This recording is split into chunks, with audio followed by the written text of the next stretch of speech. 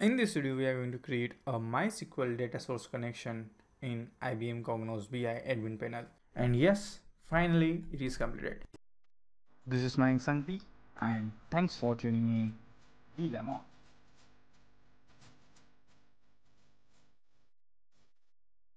In this video, Okay, for this, uh, I'm at IBM Cognos BI admin console and I'm on configuration tab. My data source connection is selected and I'm going to create a new connection here.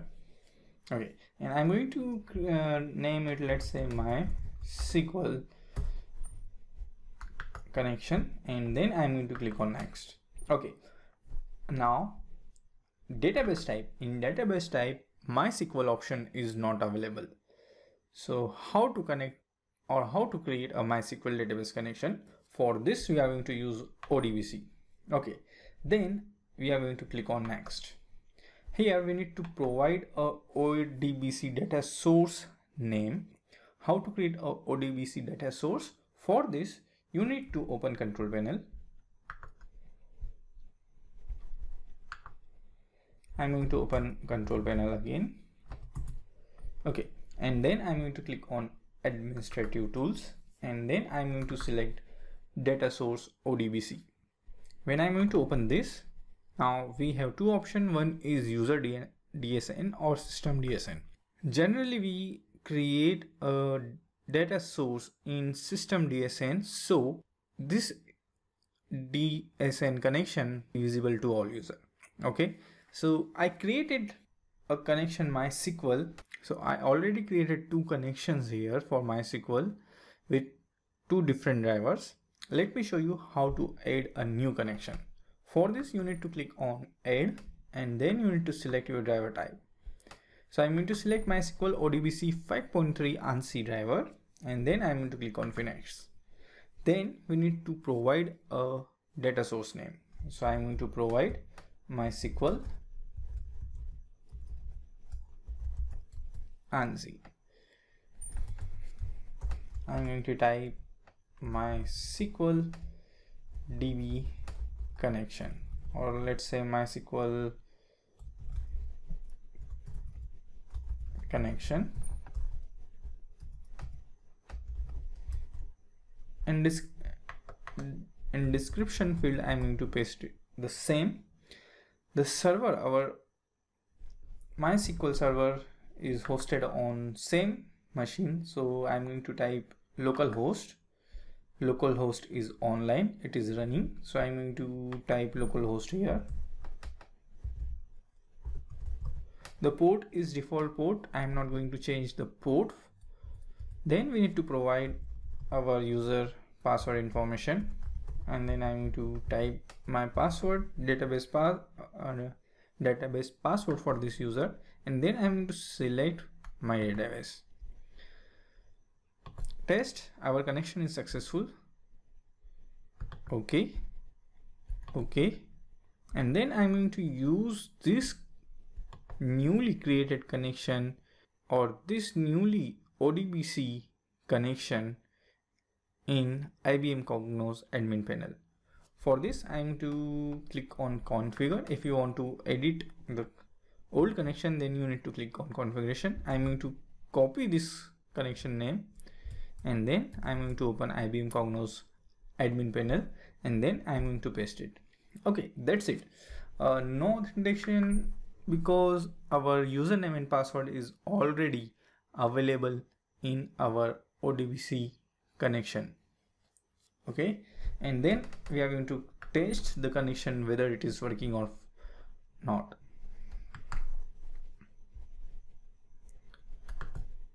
test and it is failed so let me quickly copy this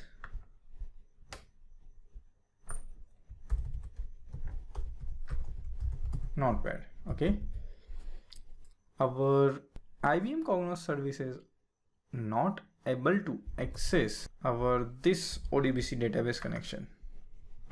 Okay, I'm not sure why this is happening because we created a system DSN so it must be available for you all user. Let me show you one more thing. Uh, I'm going to open services.msc okay. And here i'm going to show you the ibm cognos business intelligence service. Okay. It is right now running. So i'm going to right click and i'm going to select properties. Okay. And here is the logon information. Logon is local system account. Okay so most probably this local system account able to access this system DSN but unfortunately our this account is not able to access MySQL connection. Now what is the alternative? Okay, uh, or any workaround. So I'm going to change the account for IBM Cognos Business Intelligence Services. So I'm going to click on this account and then I'm going to provide the admin. I'm going to provide my user information it's uh, windows 7 vm i'm going to click on check names and then i'm going to click on ok and then finally we need to provide password for this account okay and next time we are going to restart IBM Cognos services then IBM Cognos services is going to use this account so let me first click on apply so the new login name will not take effect until you stop and restart the services. Yes, I know this. So I'm going to click on OK and then I'm going to click on general tab and then I'm going to click on stop. Close. And let me close this. So I can check the latest status by clicking by right clicking on the service and then I'm going to click on refresh. It is still stopping. So we need to wait. Mm, in the meantime i'm going to share information about all the softwares which i install to use mysql. Okay. So first the software i install is so let me go and minimize everything so this is one software i downloaded from official mysql site it's mysql installer community edition 5.7.19 and the size is around 378 MB. Before executing this exe, you need to ensure that Visual Studio uh, distribution 2003 is available in your machine because without Visual Studio distribution, your MySQL installation is going to be failed. So this is the second file. Uh, we distribution underscore 86 I am using MySQL 30 uh, I'm using MySQL 32-bit installation so that's why I use this one if you want to install MySQL 64-bit edition then you need to install vcd distribution underscore 64.exe then I also downloaded the MySQL connector ODBC okay? Uh, if this is not installed in your operating system then you are not able to see MySQL drivers okay? So if you want to connect on MySQL using ODBC then you must need to install MySQL connection uh, MySQL connector ODBC okay now I am not able to share the download URL for this because uh, whenever you are trying to install or if whenever you are trying to download all these files you must need to you must have a oracle account. So let me so here i am the this is download mysql installer page and you need to click on this file. And when you are going to click on this download you are going to redirect on login page. But I think I already authenticated. Uh, my files are download download is started for me because I already login okay uh, so this is about what files I downloaded from mysql.com and Microsoft so what are the important files uh, of course MySQL installer Visual Studio redistribution uh, 2013 32-bit or 64-bit based on your MySQL installation and uh, MySQL ODBC connector. So I hope uh, it is available. I'm not sure where is the download link. Okay, I'm going to share the download link. Ah, here, here it is. MySQL connectors, and we need to download ODBC driver for MySQL. And let's hope our services are now stopped. So let me click on refresh. Yes, it is stopped. And now I'm going to start it again. Again, it is going to take some time. Okay, so at the time of so this is my fresh installation for MySQL. So I created a sample database, create a MySQL test, and inside this I created a sample table TBL test with one record in it. And we are trying, uh, we are going to use this to test our MySQL connection okay uh, so i hope our services are started now right click refresh for the status. Still starting. So finally our uh, services are up and running. So let me go and again open the cognos administrator portal. I'm going to refresh it again.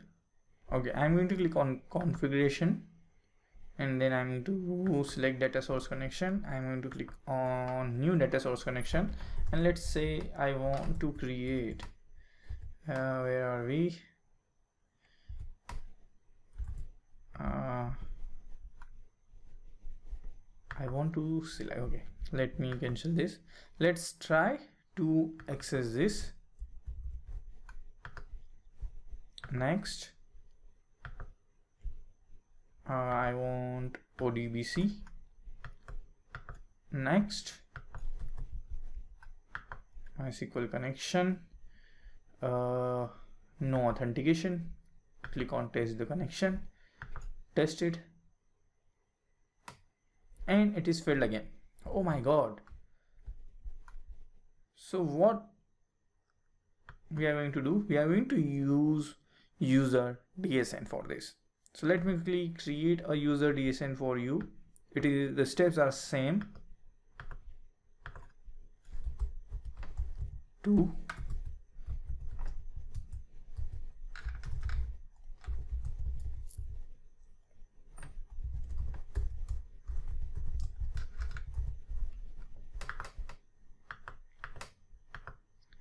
If you are able to see all the database, it means your connection is working fine. No need to click on test button. Okay. So let me try this. Close. Uh, close and this time I'm going to use user DSN. Its name is MySQL connection 2 and I don't want to provide any authentication details. Click on test and yes finally it is completed. Now what i did during this uh, testing first i created okay. So what i did during this testing let me show you again. Okay. So previously our services are running using local system account. So i am using I am assuming that local system account are able to access system DSN. So first I created a system DSN. I created a system DSN and I tested it. It is not work. Then I created or I changed the logon account and then I, I then again I tried. I assume that uh, this account have administrator privileges. So maybe this account is able to access this connection but again it is failed. Last i tried to create a user dsn and in using user dsn it is worked. Normally user dsn is not preferred. So normally user dsn is not preferred but in such scenario you can use it. Finally we created uh, finally we use user dsn okay uh, so our connection is test tested successfully. So let me quickly close it and let me uh, close finish. And just to complete our testing let's test this connection in framework manager or query studio I think.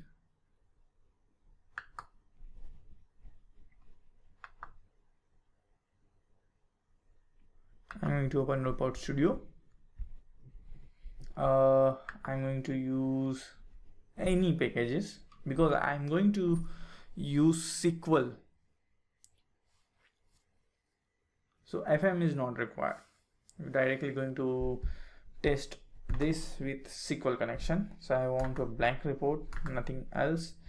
Uh, cancel. No I don't want to cancel